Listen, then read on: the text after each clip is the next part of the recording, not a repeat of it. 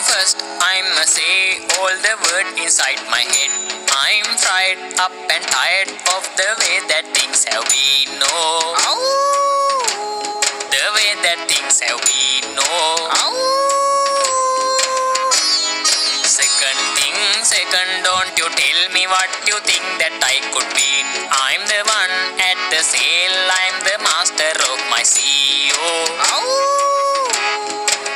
master of my CEO. I was broken from a young age, taking myself into the messes, writing my poems for the few that look at me, took, took me, shook, took me, feeling me, singing from heart edge on the pain, taking my message from the veins, taking my lesson from the brain, seeing the beauty through the pain. You made me a, you made me a believer.